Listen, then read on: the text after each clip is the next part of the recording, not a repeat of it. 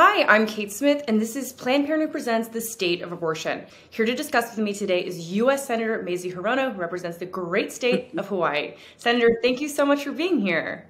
Glad to be with you. Senator, as we're talking, it's been about a day and a half since polls closed in the midterm elections. What are you making of the results that you've seen so far? That abortion was on the ballot literally in maybe five states California, uh, Vermont. These are states that made sure that abortion would continue to be a right that uh, their citizens have. So, in some of these states, abortion literally was on the ballot. There are some dozen states that restrict or totally outlaw abortion. And as these states continue to not provide that access, my hope is that that they that there will be mobilization to change to change those laws in those states. So that that kind of activism and mobilization is going to be happening more and more at the state level, and that's a, a very grassroots kind of organizing that will take place. So I have high hopes that that kind of mobilization is going to occur throughout the country, and that we will make the kind of changes in all those states that do not allow abortion access to change those laws. Senator, you've been an abortion rights champion, a reproductive health champion for your entire yes. career, not just the jobs.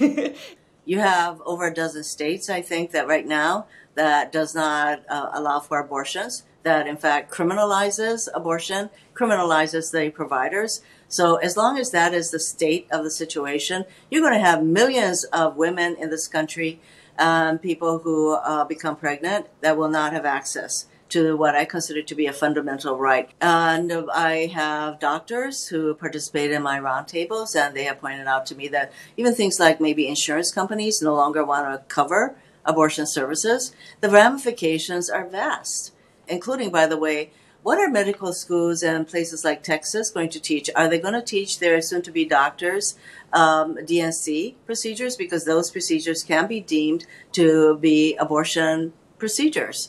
So again, the chaos and fear uh, is vast all across the country, and that is what I'm getting from my roundtables in Hawaii. Senator, I understand that you have two bills that you're bringing to the Senate that would address some of these issues. Can you tell me a little bit about those?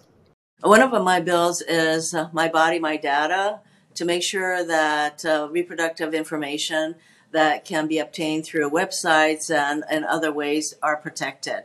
They are currently not.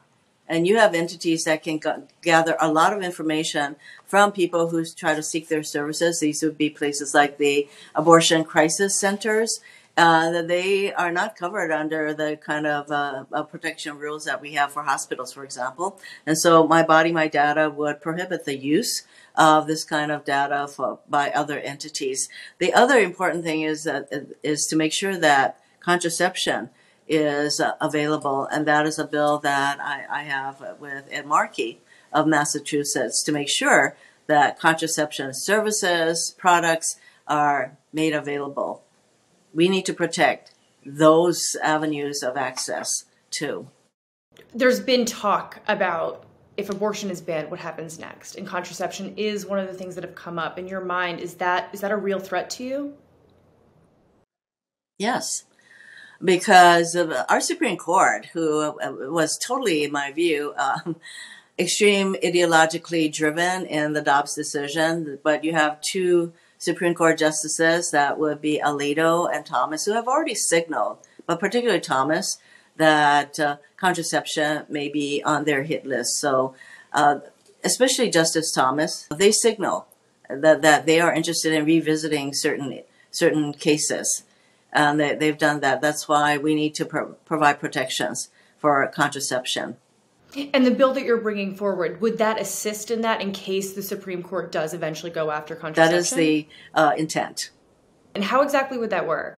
We have a lot of in the weeds folks in our audience. So can you tell us how that would work? Uh, we would make sure that, that for example, uh, uh in, in the bill, that contraceptive services for example, will be provided, and that people who uh, allow uh, contraception to be bought will not be prosecuted. There's a whole range of ways that uh, these kinds of services and methods can be protected, and that's what this bill does.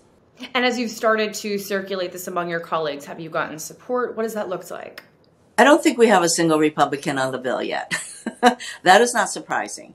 If you are a politician that doesn't agree with abortion and you try to ban abortion, how can you, in the same breath, not agree with access to contraceptions? How does that make sense? Well, a lot of the uh, positions that are taken by people who talk about they, they want to be free not to wear a mask, but it's okay to force women to have children. So, uh, uh, being consistent is not a uh, driving issue for all of these people, I have to say. And, uh, and calling them hip- hypocrites has absolutely no effect in my view. so the rest of us who uh, want to uh, really acknowledge a, an indi- individual's right to control our own bodies, we need to push forward. Senator Hirono, thank you so much for all the work that you do and for spending some time with us today. Thank you. We're in this together. Thank you so much.